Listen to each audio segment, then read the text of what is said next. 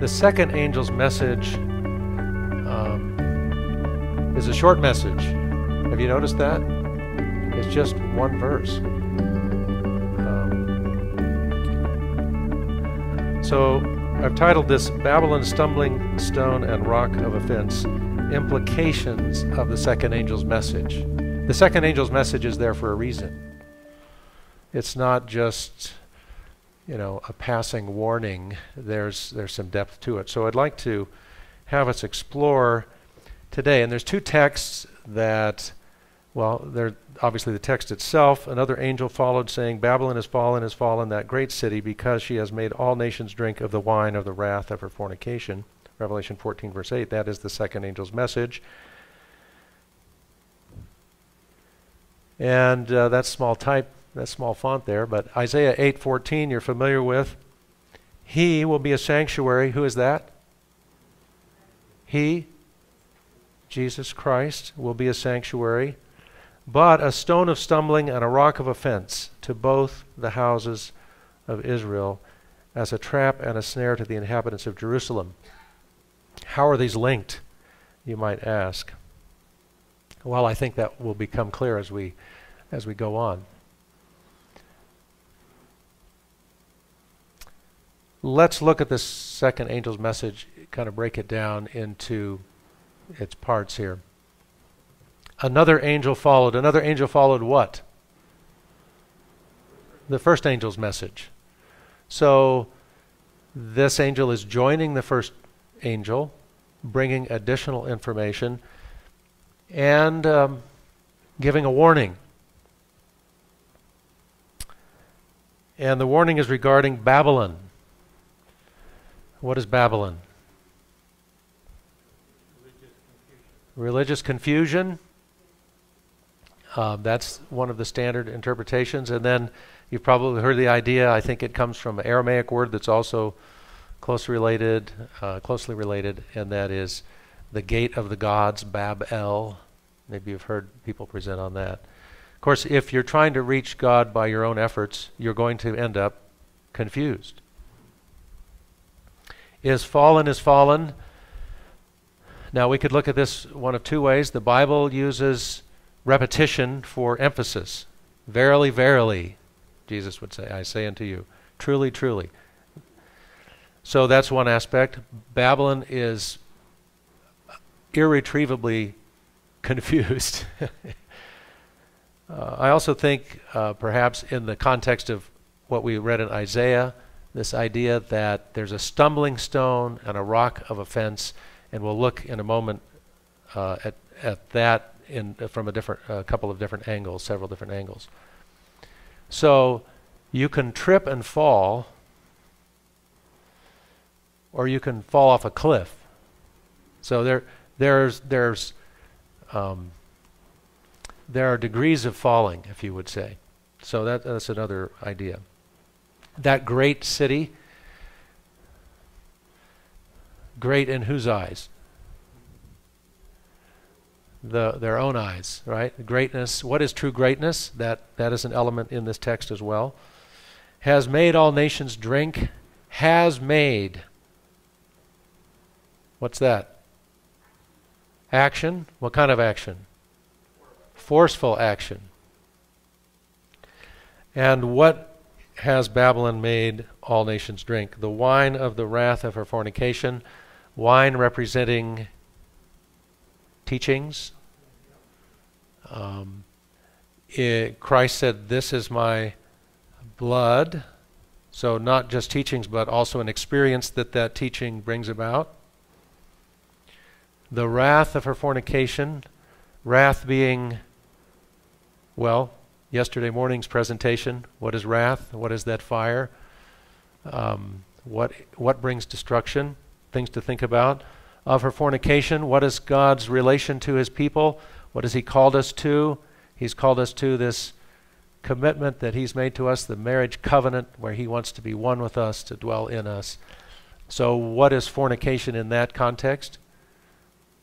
Trying to have or replicate or reproduce or supplant that experience with something else, something that we think might be better than that.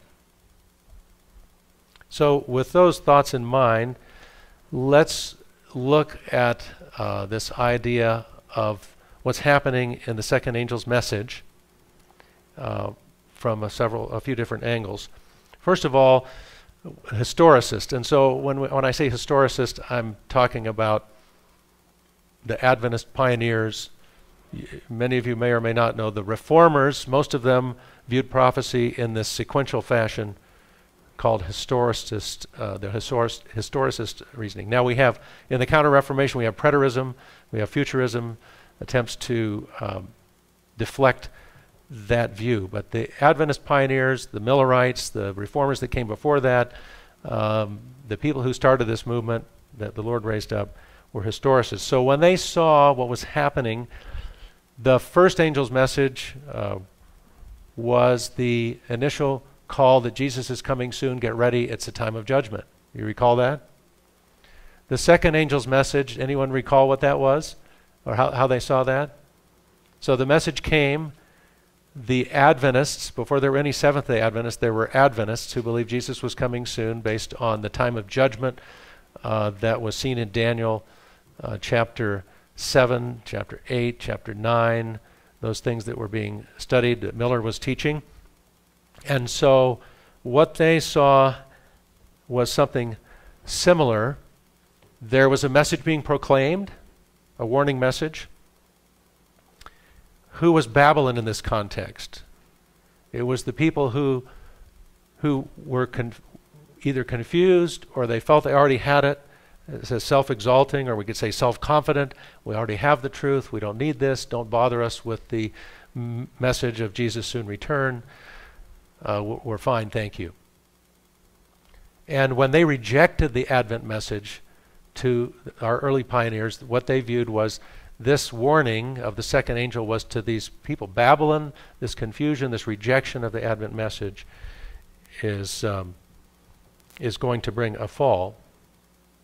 And indeed, there's evidence from history. Um, I'm not going to quote all of these, but they the Adventist pioneers bring out the declension that actually happened in the Protestant churches, quoting the the Protestant ministers and people of influence in Protestantism about how bad things were getting in the churches around this time. And the Adventists understood this this was a fall that was happening because of rejection of the the message that was given in the first angel's message. Uh, the Many of these churches, in fact, uh, you may be familiar, Ellen White was a member of a Methodist church. What happened to her and her family? They were disfellowshipped. So Babylon resorts, when, this, when the messages are rejected, Babylon resorts to force, coercion, and uh, they are in, enjoying um, this experience that they think is good enough, but it's actually a corrupt experience. It's not true worship. So here's, here's um, James White, and I'm just going to share this with you. You can uh, read along here. The second angel's message has also been fulfilled. This is James White writing after 1844. And there followed another angel saying, Babylon is fallen, is fallen, etc. The angel does not proclaim his message at the time of the first, but follows after. It's a well known fact that the burden of the first message was given from 1840 to the first part of 1844. It is also a fact that the announcement Babylon is fallen was made in 1844, and that the burden of that message, which called many thousands from the different churches, closed in the autumn of 1844. This movement being local, the angel is not said to make his proclamation with a loud voice. Interesting, the first and the third angel are made with a loud voice, but not the second. So that's his interpretation there. But the first angel announces the hour of God's judgment with a loud voice. The fulfillment was a mighty movement which took hold of the public mind. The solemn announcement of the third angel is made with a loud voice, and this is the period of the preparatory work of another mighty movement in fulfillment of the third angel's message. And he wrote that in 1853 uh, in Signs of the Times. The cause of the fall of Babylon, I believe this is him still, uh, we're quoting. Uh, I'll give you the reference at the end. The, the cause of the fall of Babylon is said to be because she made all nations drink of the wine of the wrath of her fornication. Her fornication was her unlawful connection with the kings of the earth. The wine of this is that with which the church has intoxicated the nations of the earth. There's but one thing to which this can refer, and that is false doctrine. So teaching. Of course, false doctrine leads to an experience because what we teach, what we believe about God is how we experience or influences how we experience our relationship with Him. This harlot, in consequence of her unlawful union with the powers of earth, has corrupted the pure truths of the Bible, and with the wine of her false doctrine has intoxicated the nations. As a few of the gross errors which she has caused the masses to receive as Bible truth, we mention the following. So, the Adventist Church, Adventist movement, views itself as a culmination of the Reformation. God is calling the people to restore Bible truth, and he goes on to list several of these. So, the immortality of the soul uh, being one of the errors, uh, sprinkling and pouring or baptism, so restoring baptism, the Sabbath Sunday issue, the millennium being, you know, premillennialists millennialists, uh, Adventists um, saw that in the scripture, as opposed to this, uh, you know, earthly millennium, and that the heaven is a real place. Uh, the second advent uh, is not simply spiritual, but it's it's real. And so the other errors they were uh, combating, it was right and that it was not right to hold human beings in bondage. So slavery was actually something that was uh, right there at the cusp of Adventism, seeing this is not right. And uh, the last one he lists here it's of no consequence if we may judge from their practice to come out and be separate from the world. So that is, of course, Babylon's wine. Just stay here, have a drink, be comfortable. Things are fine.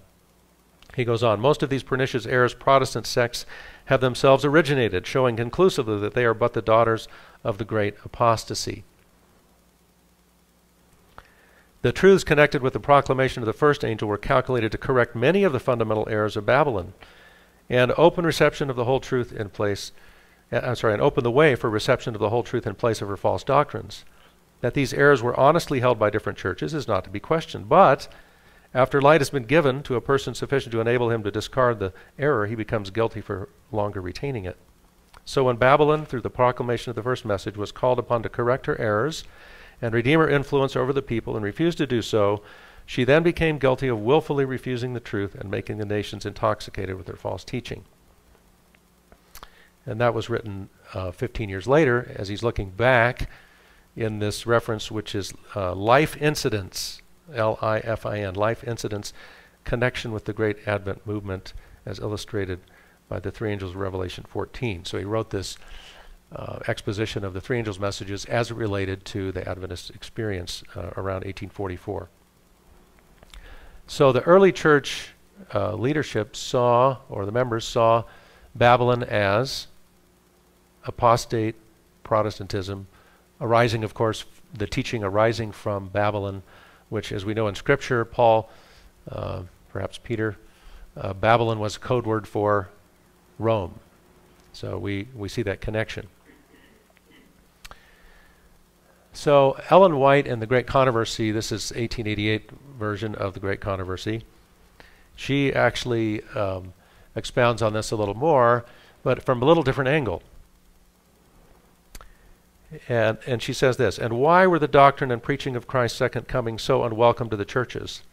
While to the wicked the advent of the Lord brings woe and desolation, to the righteous it is fraught with joy and hope. This great truth had been the consolation of God's faithful ones through all the ages. Why had it become, like its author, a stone of stumbling and a rock of offense? Do you see the link? So now we see those two texts linked the second angel's message and Isaiah 8:14 the message of the second coming had become a stone of stumbling and a rock of offense to his professed people. It was our Lord Himself who promised His disciples, If I go and prepare a place for you, I will come again and receive you unto myself. It was the compassionate Savior who, anticipating the loneliness and sorrow of His followers, commissioned angels to comfort them with the assurance that He would come again in person even as he went into heaven. Okay, so the message is not simply an idea, Jesus is coming. It's actually to draw on the heart because it's Jesus who's coming. the one that, that we love and that loves us and cares for us. So this is how the, the message was given to the disciples. And she's describing in the Great Controversy this what happened around 1844. This message should have been widely accepted and rejoiced in. But the message itself of Jesus' soon return became a stumbling stone and a rock of offense. She goes on As the disciples stood gazing intently upward to catch the last glimpse of him whom they loved, their attention was arrested by the words, Ye men of Galilee, why stand ye gazing up into heaven? This same Jesus, which is taken up from you into heaven, shall so come in like manner as you have seen him go into heaven. Hope was kindled afresh by the angel's message. The disciples returned to, to Jerusalem with great joy and continually in the temple praising and blessing God. They were not rejoicing because Jesus had been separated from them and they were to be left to struggle with the trials and temptations of the world, but because of the angel's assurance that he would come again. The proclamation of Christ's coming should now be, as when made by the angels to the shepherds of Bethlehem, good tidings of great joy. Those who really love the Savior cannot but hail with gladness the announcement founded upon the Word of God that He in whom their hopes of eternal life are centered is coming again not to be insulted, despised, and rejected as at his first advent, but in power and glory to redeem his people. It is those who do not love the Savior that desire him to remain away, and there can be no more conclusive evidence that the churches have departed from God than the irritation and animosity excited by this heaven sent message. What message is she talking about? Christ coming. But the principle of a heaven sent message that should warm our hearts, uh, I think that that stands out and is, almost goes without saying. Those who accepted the Advent doctrine were roused to the necessity of repentance and humiliation before God. If Babylon is a great city, exalted in their own eyes, God's people see themselves as in need of repentance and humiliation. Many had been halting, had been long, long been halting between Christ and the world. Now they felt that it was time to take a stand. The things of eternity assumed to them an unwanted reality. Heaven was brought near, and they felt themselves guilty before God. Appreciated the message this morning, uh, Frank. You know, there's a reason why we feel that way. It's to keep us building on the rock. Christians were quickened to new spiritual life. They were made to feel that time was short, that what they had to do for their fellow men must be done quickly. Earth receded, eternity seemed to be open before them, and the soul, with all that pertains to its immortal weal or woe, was felt to eclipse every other temporal object. The Spirit of God rested upon them. What's that? That's the maybe the early rain or the early part of the latter rain and gave power to their earnest appeals to their brethren as well as to sinners to prepare for the day of God. The silent testimony of their daily life was a constant rebuke to formal and unconsecrated church members. These did not wish to be disturbed in their pursuit of pleasure, their de- devotion to money making, and their ambition for worldly honor. Uh, those are the principles, by the way, of Babylon pursuit of pleasure, money making, ambition for worldly honor. Life, liberty, and the pursuit of happiness. You only get happy by making other people happy. That's right. Hence the enmity and opposition excited against the Advent faith and those who proclaimed it. So, this is Ellen White's view of kind of expanding, no, no, not strictly a doctrinal list, but she's describing a love response or lack thereof, she's describing um, an eager anticipation or distraction or you know the kind of the opposite response that's happening. So it brings it more into a more personal realm, but also um, transitions to maybe a more um, personal idea. You know, it's not just a theological. You know, here's the second angel's message. It's between the first and the third, and here's what we think it means what's the personal application to us? So, in this experience that happened uh, in 18 around 1844, we see um, the demonstration in the personal lives of those in these churches manifested in their churches corporately and then in the Protestant movement at large against the Advent movement. And we see the message being given. We see that um, it's a stumbling block, as Ellen White said, to those who hear it. And in some respects, uh, it, we, you know, there's, it's kind of like the Jewish nation. The Jewish nation lost its position uh, as God's um, vehicle to share the gospel. But the individuals, the priests, how many priests were converted in one day? Baptized, you know, 3,000 people baptized in a day. I think thousands of priests becoming uh, converted as well. So the warning is not definitive in the second angel's message that you're hopeless. It's hopeless for you. Because how does the third angel's message open? It's not my job to discuss that too much, but how does it open? Come out, right? Um, of her, my people. And certainly in Revelation 18, that's the, that's the way it is. Come out. Get out before the destruction is final or fatal. Uh, so, again, uh, we see this on a more of a theological, personal level. And if you have a chance, um, go back and read Desire of Ages because Ellen White discusses this in detail in terms of the Jewish experience, where Christ is the foundation stone, Christ is the stone of stumbling, Christ is the rock of offense, but what, what produces that? What makes him be those things? Let's look at, uh, just maybe listen to this. This is from A Desire of Ages. Sanctify the Lord of hosts himself, and let him be your fear, and let him be your dread and he shall be for a sanctuary, but for a stone of stumbling and for a rock of offense, both to the houses of Israel, and a gin and a snare for the inhabitants of Jerusalem.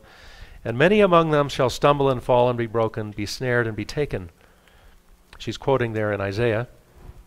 And she goes on, carried down in prophetic vision to the first advent the prophet has shown that Christ is to bear trials and tests of which the treatment of the chief cornerstone in the Temple of Solomon was symbolic. Maybe you're familiar with that story. The stone that they found didn't seem to fit anywhere. It was unique, uh, but it ended up being tested by all this pressure and weather. And, and then at the moment when they needed to put the cornerstone in, they found, well, this is the perfect stone. This is the one that needs to be right here. Then she quotes um, Isaiah 28, verse 16 Therefore, thus saith the Lord God Behold, I lay in Zion for a foundation stone, a tried stone, a precious cornerstone, a sure foundation. He that believeth shall not make haste. In infinite wisdom, God chose the foundation stone and laid it himself. He called it a sure foundation. The entire world may lay upon it their burdens and griefs. It can endure them all. With perfect safety they may build upon it. Christ is a tried stone. Those who trust in him, he never disappoints. He has borne every test. He has endured the pressure of Adam's guilt and the guilt of his posterity, and has come off more than a conqueror of the powers of evil. He has borne the burdens cast upon him by every repenting sinner. In Christ, the guilty heart has found relief. He is the sure foundation. All who make him their dependence rest in perfect security. So God's purpose for the stone is rest, peace, security, a solid foundation to build upon. In Isaiah's prophecy, Christ is declared to be both a sure foundation and a stone of stumbling. The Apostle Peter, she goes on to quote, If so be ye have tasted that the Lord is gracious, to whom coming as unto a living stone, disallowed indeed of men, but chosen of God and precious, ye also as lively stones are built up a spiritual house and holy priesthood to offer up spiritual sacrifices acceptable to God by Jesus Christ. Wherefore also it is contained in the scripture, Behold, I lay in Zion a chief cornerstone. And so first Peter is of course there is quoting again from Isaiah. And he goes on to say, after he quotes the text, even to them which stumble at the word, being disobedient. Now, Ellen White goes on here in Desire of Ages, page 599 To those who believe, Christ is the sure foundation. These are they who fall upon the rock and are broken. Submission to Christ and faith in Him are here represented. To fall upon the rock and be broken is to give up our self righteousness and to go to Christ with the humility of a child, repenting of our transgressions and believing in His forgiving love. And so also it is by faith and obedience that we build on Christ as our foundation. Upon this living stone, Jews and Gentiles alike may build.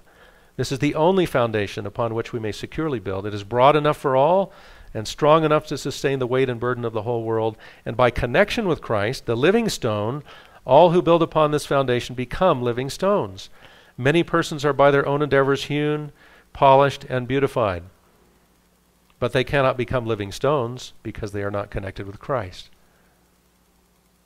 Without this connection, no man can be saved. Without the life of Christ, listen carefully, without the life of Christ in us, we cannot withstand the storms of temptation. Our eternal safety depends upon our founding, our, our building upon the sure foundation. Multitudes are today building upon foundations that have not been tested. When the rain falls and the tempest rages and the floods come, their houses will fall because they are not founded upon the eternal rock, the chief cornerstone, Christ Jesus.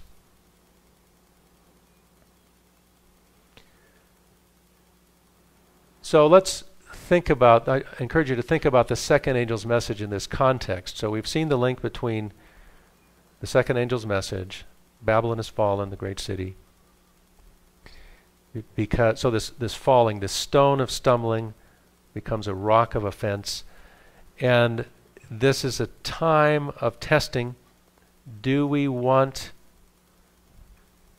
to have Christ as the living stone? Because he's going to be a stumbling stone for how many? Initially, for everyone, he's a stumbling stone. Does he get in the way of our human trajectory, of our self interest? He trips us up for the purpose of saying, uh, stop right here. You need to build right here. You know how you feel fallen and, and sinful right now? You feel like you can't do it? That's perfect.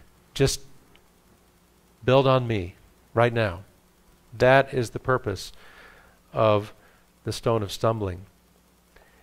He only becomes a rock of offense when we're not uh, getting up seven times like it said in the Psalms, like the righteous man gets up seven times in the Lord's strength, building on Him, letting Him carry us. But we're getting up and going on in our own way. Oh, well, that was just a small trip. I'll be fine, thank you. The rock just gets bigger and bigger and bigger. And the trips get, uh, the tripping gets more and more traumatic. And so, in the end, Babylon has a cosmic fall, if you will. So, Let's look at it now from the great controversy kind of picture. Because there are stories from beginning to end in the great controversy that have this principle of the second angel's message uh, embedded in them.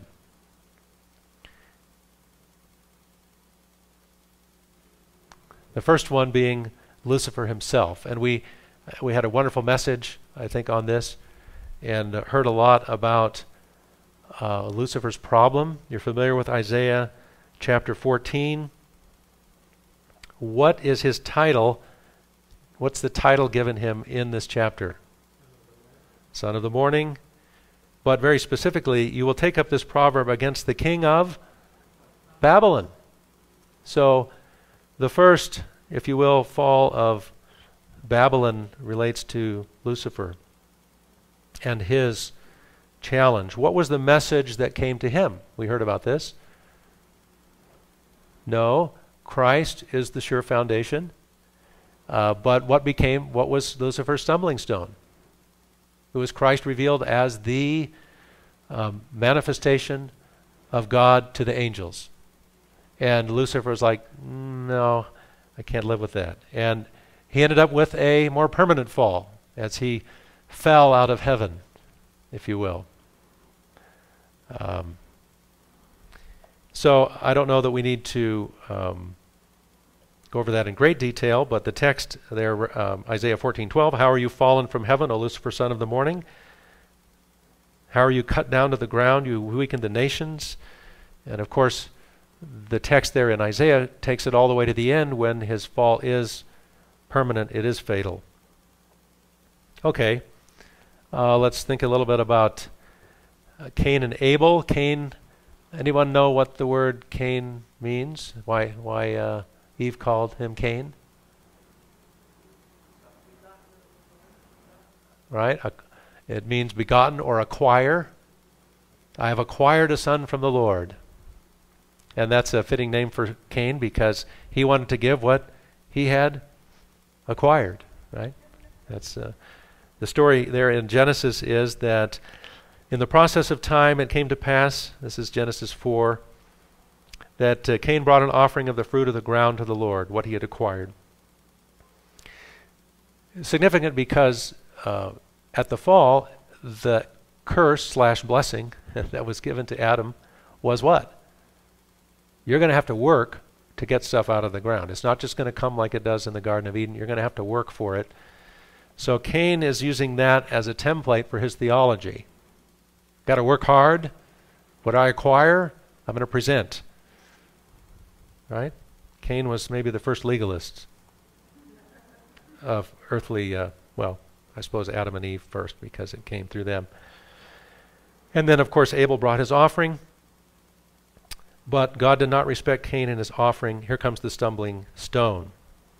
So Cain stumbled because his offering was not respected, because it didn't represent Christ. And Cain was very angry, his countenance fell. So the Lord sent a message to Cain. Who is the Lord speaking to Cain? Who's the representative to humanity? Jesus. Why are you angry? Why has your countenance fallen? If you do well, will you not be accepted? If you do not do well, sin lies at the door. And its desire is for you, but you shall rule over it. He's reiterating what he told Adam. There's enmity here. I've placed enmity against sin in your heart. You can, you know, through my grace, if you'll pay attention to me, if you'll let me dwell in you, as it were, accept me as your sacrifice, then uh, you can rule over sin rather than it ruling over you. And we know what happened. Uh, Cain uh, chose not to listen to the message, the, the, second angel's message, right? Babylon was falling for him. He had listened to the ideas of the king of Babylon, Lucifer, you know, metaphorically speaking there. And he ended up with a curse and then went out into the world and he, he said to the Lord, My punishment, verse 13, is greater than I can bear. Surely you have driven me out of this, out this day from the face of the ground. I shall be hidden from your face. I shall be a fugitive and a vagabond on the earth, and it will happen that anyone who finds me will kill me. All those who, through fear of death, were held in bondage to sin. Do you see it? He's afraid of dying now because he's on his own. He's not building on the rock. And of course, the Lord, in mercy, prolonged uh, that time for him as well. So he went out, started building cities, and we know what happened uh, in the antediluvian world. The, the principle of self preservation, self interest, uh, arose to the point where it became great, and then it became so forceful. You have the story of Lamech, who was bragging to his two wives that somebody offended him, so he killed him. So we have asymmetric response. You know, this is what happens. After the flood, uh, the story of Nimrod is very, very short in Scripture, but interesting. And I'm not sure we have time to do it today. I might touch on a few things, but Matthew Henry has some very interesting insights that he brings out. Matthew Henry has a commentary, and in this section. So let me just read the text. Cush begot Nimrod. He began to be a mighty one on the earth. He was a mighty hunter before the Lord, and therefore it is said, like Nimrod, the mighty hunter before the Lord. It's like a saying, right? You're a Nimrod, you're a mighty hunter. And the beginning of his kingdom was Babel. Ah, interesting. Erech, Akkad, and Calneh in the land of Shinar. From that land he went to Assyria and built Nineveh, Rehoboth, Ir, Calah, and Resen between Nineveh and Calah, that is the principal city. So if you if you read this, and I don't, I don't know that um, Matthew Henry is reading between the lines or not, but uh, I, I appreciate what he says. He says. Nimrod is represented as a great man in his day. He began to be a mighty one in the earth, that is, whereas those that went before him were content to stand on the same level with their neighbors, and though every man bore his rule in his own house, yet no man pretended any further. Nimrod's aspiring mind could not rest here. He was resolved to tower above his neighbors, not only to be eminent among them, but to lord it over them. The same spirit that actuated the giants before the flood, who were mighty men, men of renown, now revived in him. So soon was that tremendous judgment which the pride and tyranny of those mighty men brought upon the world forgotten. So soon after the flood, forgetting what had happened. And we see that, of course, in the world today. People who have that kind of attitude. They want to build, they want to rule. And this is part of escaping um, escaping the call of God to worship Him. In fact, uh, he goes on, I'll, I'll, not read all of this, implicates that he set up idolatry because uh, he was opposed to God. In the Septuagint, if you read the Septuagint of this, he was a mighty hunter against the Lord. So he, his might he was opposing against the Lord. And in fact, he was a great ruler. When it says the beginning of his kingdom was Babel, Matthew Henry um, suggests that you know he got into power. He laid the foundations of a monarchy, which uh, even um, governments that are not monarchies are often led by one person.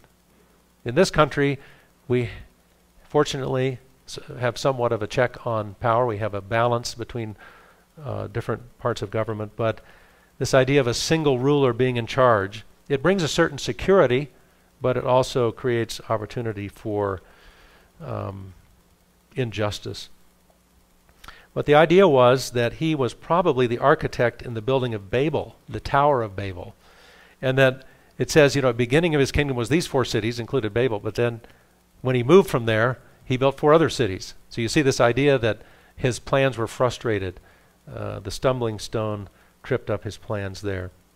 Anyway, the, the story and the great controversy goes on. So the reason I bring up Nimrod is that it's likely that he was the first visible ruler of a physical Babylon, right, in this, in this world. And of course, the most obvious one was Nebuchadnezzar, uh, who ruled when Daniel was taken captive. And you remember the story there. Was Christ a stumbling stone to Nebuchadnezzar? yes. And uh, he actually repented. And uh, Nebuchadnezzar was converted and wrote part of the book of Daniel, one of the chapters there. His grandson, however, Belshazzar, was uh, more crushed by the stone than Daniel reminded him. I won't read the text.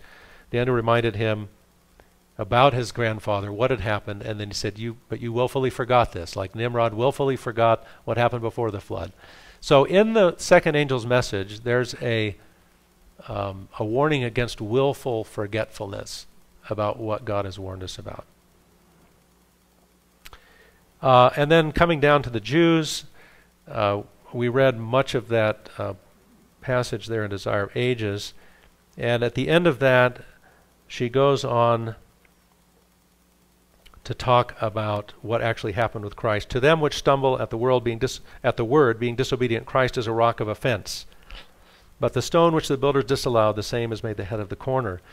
Like the rejected stone, Christ in his earthly mission had borne neglect and abuse. He was despised and rejected of men, a man of sorrows and acquainted with grief. But then at the resurrection, he was declared the Son of God with power. And then at the second coming, which is how we understand the second angel's message came about um, in our history, that everyone would recognize his greatness. So the before the universe, the rejected stone would become the head of the corner. And then you may be familiar on whomsoever it shall fall, it will grind him to powder. She quotes that. The people who rejected Christ were soon to see their city and their nation destroyed. So the fall, you know, they stumbled, they kept on in their rebellion, but and he was in, mer- in mercy, he sent people to them even after he went to heaven. The, the message of the gospel went continued to go on. Their glory would be broken, scattered as the dust before the wind. And what was it that destroyed the Jews? It was the rock which, had they built upon it, would have been their security. It was the goodness of God despised, the righteousness spurned, the mercy slighted. So, in the second angel's message, although it's a negative message, the, the negative message is humanity's a warning against humanity's response against something very positive the message of the gospel and if you reject it if you reject this rock that if you build on it would be your security then it gets bigger and bigger and uh, she says that the blood shed upon Calvary was the weight that sank them to ruin for this world and the world world to come Christ their rock of offense will then appear talking about the end of time to them as an avenging mountain talks about his righteousness, the glory of his countenance will be to the wicked a consuming fire. Because of love rejected, grace despised, the sinner will be destroyed. So, the second angel's message harkens back to all of these stories in the Bible, and then prophetically speaking, um, yeah, the, Christ is the foundation, and then there's the Rolling Stones anyway.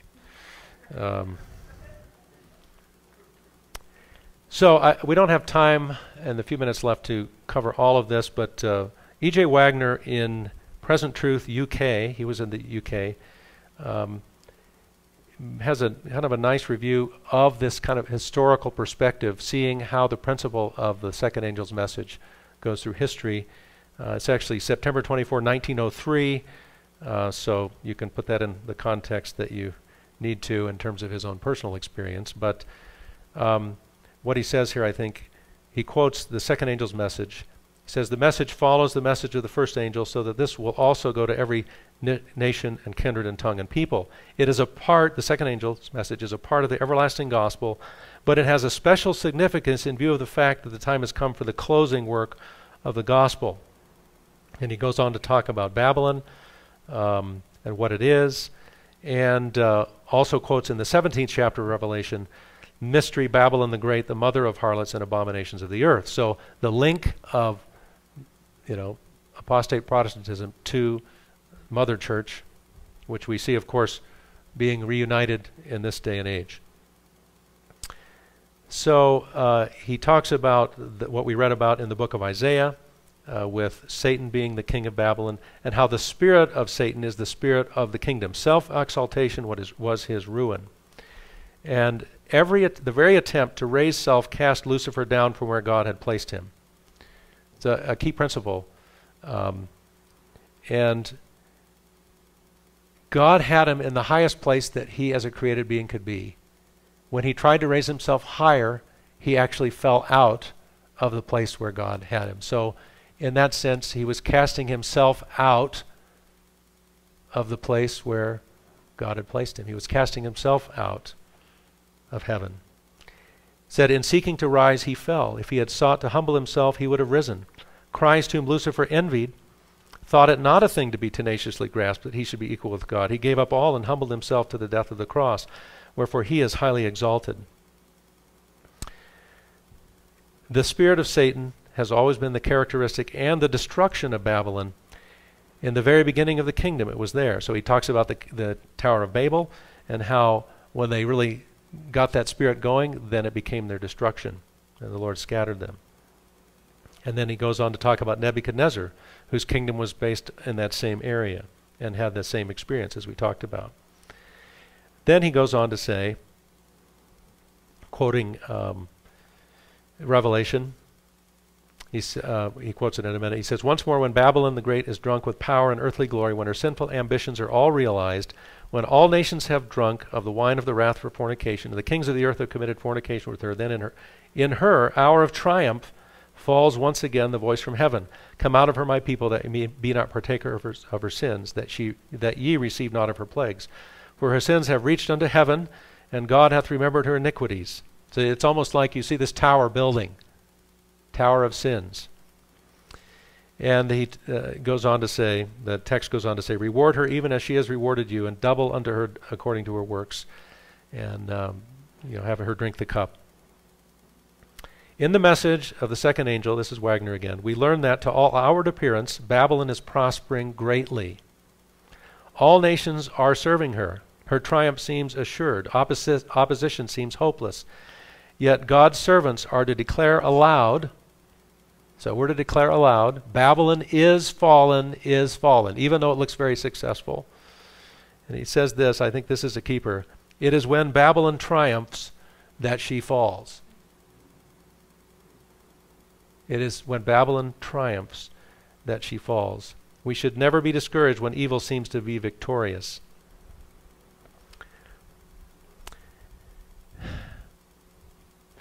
And he's, he goes on to talk about that there are prisoners in Babylon that need to be set free. The message of the second angel goes with the everlasting gospel to get men perfectly free from Satan's power. It means entire deliverance from every yoke of bondage it means having power over all the power of the enemy. Satan has bound many as he bound the woman who was bowed down by a spirit of infirmity for 18 years, but this message will give deliverance from all such bondage to those who take it by faith. While Satan appears to be triumphing in the earth, while the churches unite with the world in rejecting the law of God and denying the faith of Christ, believers will with gladness and confidence declare the glad tidings that Babylon has fallen.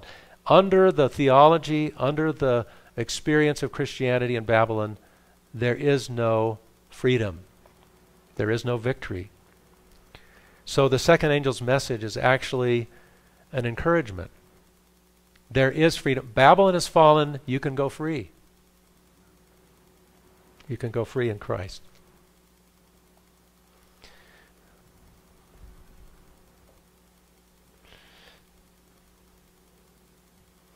A.T. Jones um, talks about this. Here's what he's saying. It, this is in 1892. Then by the ministry of the apostles there was made known that which had been hid from ages and from generations, and that thing was the mystery of God. And by preaching of the gospel, says the word, he would now make known to his saints what is the riches of the glory of this mystery among the Gentiles. And this mystery is Christ in you, the hope of glory. Though it had been hid from ages and generations in the past, now the Lord breaks off the veil, brings it forth, and by the mouth of the apostles and the preaching of the gospel spreads it before all nations for the obedience of faith. This is the gospel, and the preaching of this is the preaching of the gospel.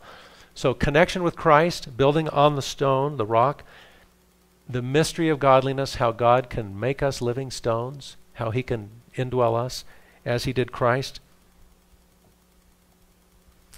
So then he, he goes on to make a contrast between this um, mystery of the gospel.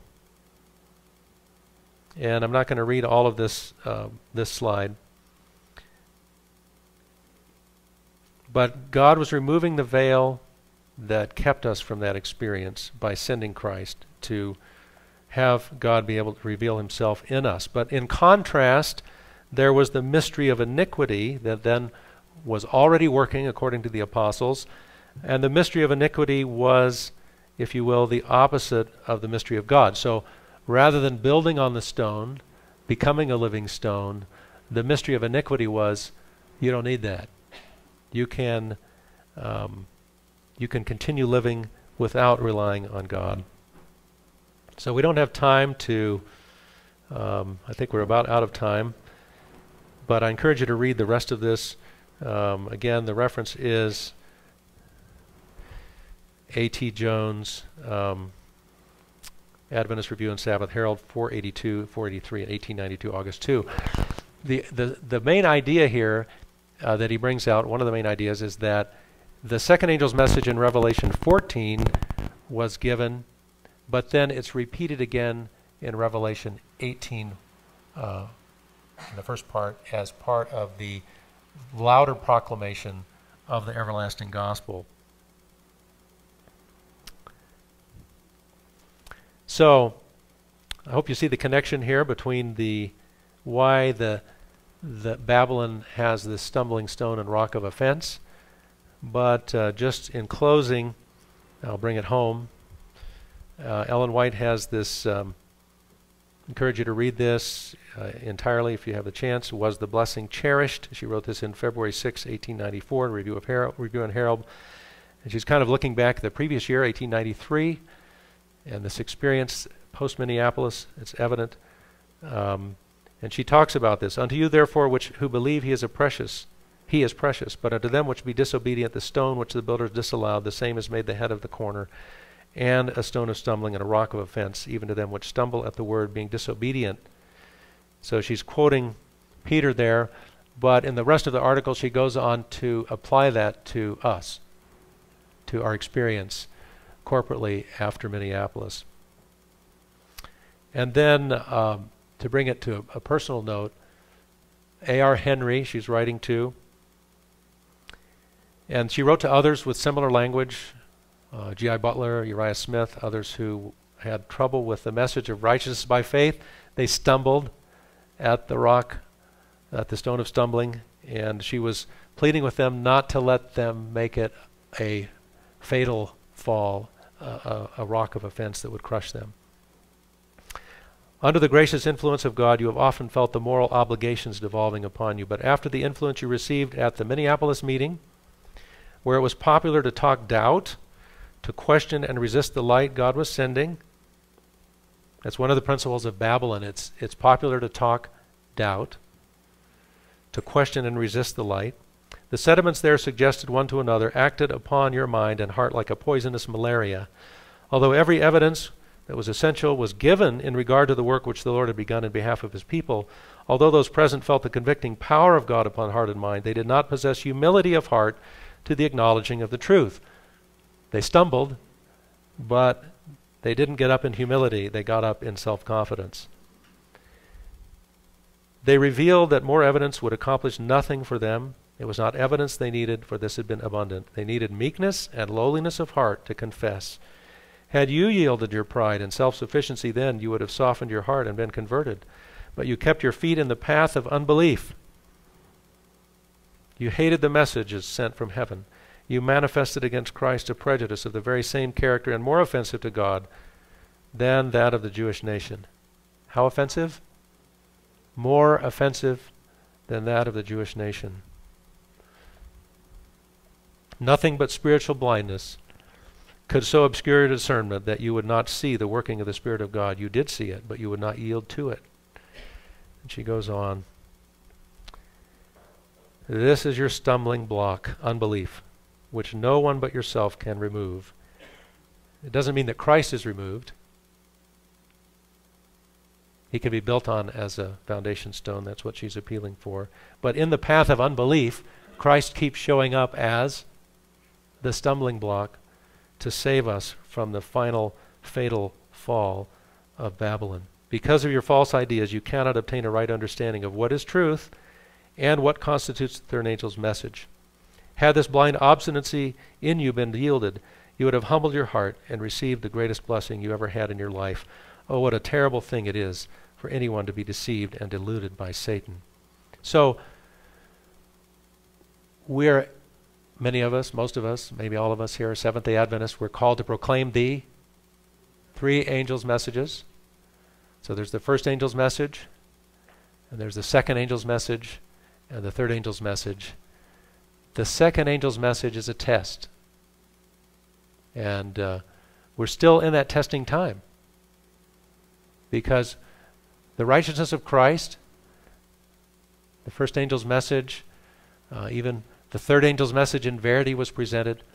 But until the whole is presented as a unity, until we stop stumbling over the rock of offense and build on the rock, Jesus Christ, let Him live in us, become living stones, the message won't go forward with that power. It's not bad news, it's good news. God is doing everything He can to trip us up you know, if you trip and fall right before the step that would have taken you over the cliff, but you tripped and fell, and then you saw the, the fatal flaw that would come, wouldn't that be a blessing?